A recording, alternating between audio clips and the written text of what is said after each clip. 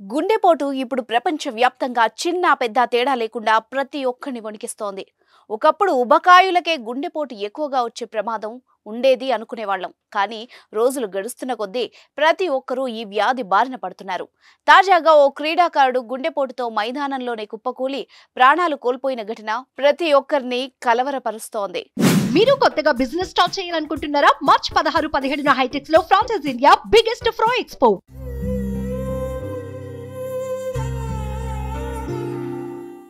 నిత్యం వ్యాయామం చేసే క్రీడాకారులు కూడా అంత సడన్గా చనిపోవడంపై నిపుణులు సైతం ఆశ్చర్యపోతున్నారు. పూర్తి వివరాల్లోకి వెళ్తే బెంగళూరు వేదికగా ప్రస్తుతం జరుగుతున్న ఏజీ సౌత్ జోన్ టోర్నీలో కర్ణాటక తమిళనాడు జట్టు తలపడ్డాయి. ఈ మ్యాచ్లో తమిళనాడు జట్టుపై కర్ణాటక విజయం సాధించింది. ఈ సమయంలో జట్టుతో కలిసి సంబరాలు చేసుకుంటున్న యంగ్ బౌలర్ హోయసలా మైదానంలోనే ఛాతీ నొప్పి వచ్చి స్పృహ తప్పి పడిపోయాడు. అనంతరం అంబులెన్స్లో బెంగళూరులోని బౌరింగ్ హాస్పిటల్కి తరలించారు. అయితే హాస్పిటల్కి చేరుకోకముందే హోయసల ప్రాణాలు కోల్పోయాడు. ఫిబ్రవరి ఇరవై రెండవ తేదీన జరిగిన ఈ ఘటన ఫిబ్రవరి ఇరవై మూడవ తేదీన సాయంత్రం వెలుగులోకి వచ్చింది యువ క్రికెటర్ అకాల మరణానికి కర్ణాటక ఆరోగ్య కుటుంబ సంక్షేమ శాఖ మంత్రి దినేష్ సంతాపం తెలిపారు.